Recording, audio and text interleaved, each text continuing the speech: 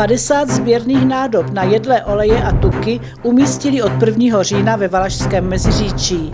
Použitý olej lze do speciálního kontejneru vkládat pouze v uzavřené PET láhvi. Olej se nesmí lít přímo do sběrných nádob nebo jej likvidovat ve skleněných obalech. Svoz bude probíhat jednou za čtvrt roku.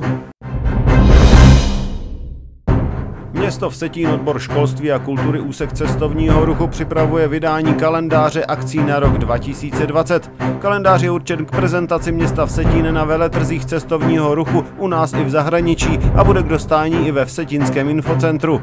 Uzávěrka podkladu pro jeho vznik je 25. října. Do tohoto data lze zasílat akce na Městský úřad Vsetín, ošak Svárov 1080 paní Ivetě Balejové nebo na e-mail iveta.balejová zavináč mestovsetín.cz CZ.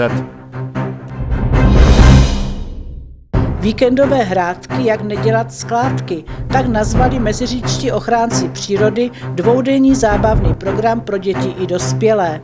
V sobotu 19. října a v neděli 20. října jsou ve Valašském ekocentru připraveny soutěžní stezky s řadou úkolů, divadelko pro děti, chybět nebude ani malování na obličej a opékání špekáčků. Mediálním partnerem akce je regionální televize CZ.